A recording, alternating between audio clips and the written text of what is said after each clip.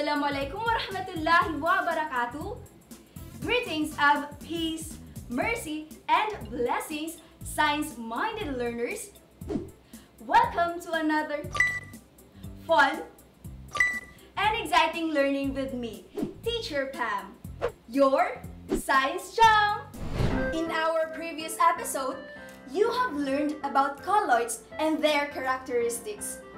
What types of colloids formed between two liquids. Great! It is emulsion. True or false? Beaten egg white and whipped cream are examples of foam, one of the types of colloid. The correct answer is true. What are the two types of aerosol? Very good! The two types of aerosol are liquid aerosol and solid aerosol. Science-minded learners, are you excited to learn something today? Me too! I'm excited to teach you new learning. But before that, let me first introduce to you my science buddy. Teacher Keys.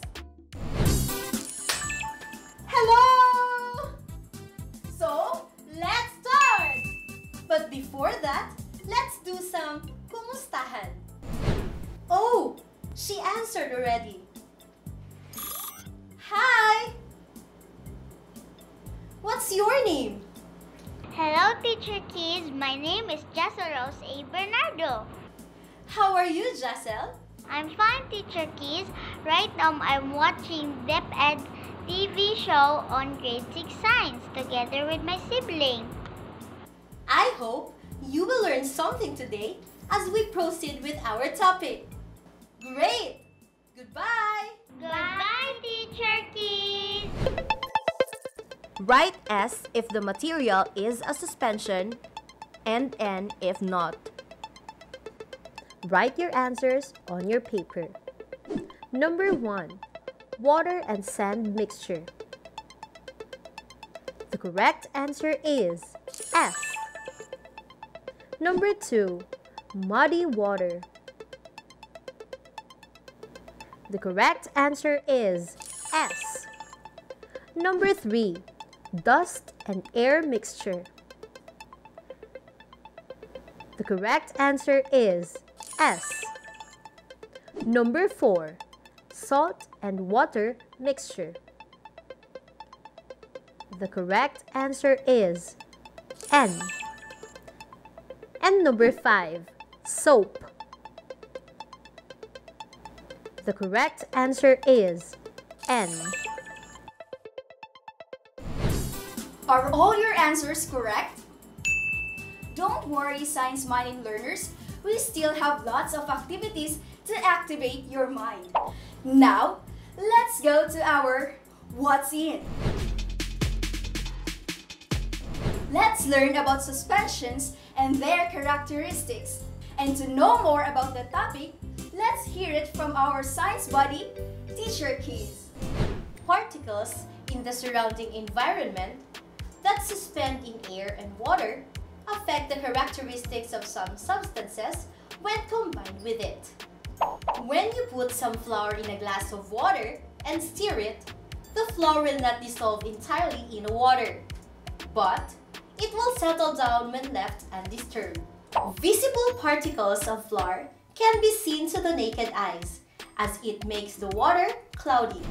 Mixtures of tea leaves in hot water is an example of suspension. Tea leaves settle down at the bottom where you can see the two mixtures combined. Suspension is a heterogeneous mixture where visible particles can be seen to the naked eye as it settles down at the bottom or float on top when left undisturbed. Cloudy appearance appears when two materials were mixed. It can be used in processing food, beverages, and medicine. Now, let's have our activity time!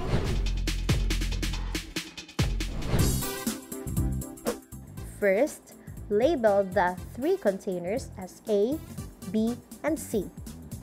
add 3 drops of food coloring to containers A and B. And put a sand on container C. Then, add another 5 teaspoons of oil to container B. Stir each container for 10 seconds.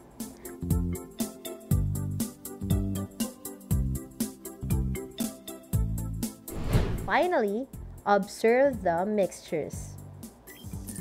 What type of mixture is inside the container A? Why? Excellent! The mixture inside the container A is a homogeneous mixture because the food coloring is evenly mixed with the water.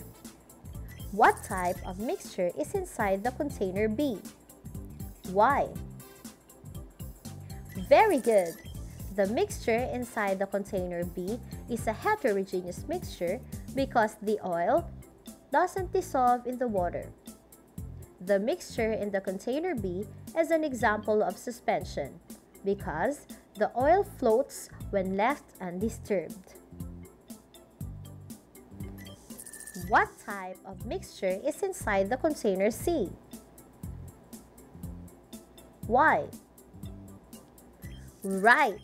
The mixture inside the container C is a heterogeneous mixture because the sand doesn't dissolve in water. The mixture in the container C is an example of suspension because the sand settles down when left undisturbed. Have you gained new learning in our activity? Awesome! From the information that I gave about suspension, answer the following questions. Write your answers on your paper. Number 1. What is suspension? Right! Suspension is a heterogeneous mixture where visible particles can be seen to the naked eye as it settles down at the bottom or float on top when left undisturbed. Number 2. Give two examples of suspension. Right! Soil and water in a clear glass and oil and water in a bottle. Number 3. Give three uses of suspension. It can be used in processing food, beverages, and medicine. Give me a high five, science-minded learners, job well done. Again, high five! Now, let's move on to what's more. Oh, we have Sisi here again. So Sisi, what help do you need right now? I have to pick out the examples of suspensions inside the box. Science-minded learners, can we help Sisi again? Great! Is the mixture of gravel and water an example of suspension? Great! Yes, it is. Is the mixture of salt and water an example of suspension? Very good! No, it is not. The mixture of salt and water is an example of solution because the salt can be dissolved in water. Is the mixture of soil and water an example of suspension? Yes, it is. Is the mixture of tea leaves and hot water an example of suspension? Very good! Yes, it is. Is the mixture of vinegar and soy sauce an example of suspension? Right! It is not, because the mixture of vinegar and soy sauce is an example of solution. Is the mixture of oil and water an example of suspension? Yes, it is. Is the mixture of rice grain and water an example of suspension? Very good. It is. The mixtures gravel and water, soil and water, tea leaves and hot water, oil and water, and rice grain and water are examples of suspension. Wow! My friend Sissy is so happy. With your help, she's done with her assignment. Yay! Thank you so much, science-minded learner. Hopefully, you will not get tired in helping someone like Sissy. Now, let's go to what I have learned. Complete the statement. Do it on your paper. Suspension is a blank mixture where blank particles can be seen to the naked eye as it settles blank at the bottom or blank on top when left undisturbed. Suspension is a heterogeneous mixture where visible particles can be seen to the naked eye as it settles down at the bottom or float on top when left undisturbed. Now, let's go to what I can do. Answer the following questions. Write your answers on your paper. Based from the given illustration, describe what a suspension is. How does suspension appear? Suspension is a heterogeneous mixture where visible particles can be seen to the naked eye, and when it is left undisturbed, the pebbles settle down at the bottom. Amazing! It seems like you have learned a lot today from our episode. I hope that you will apply what you have learned from our class today because that's what a scientist do. Science-minded learners, are you ready for our assessment?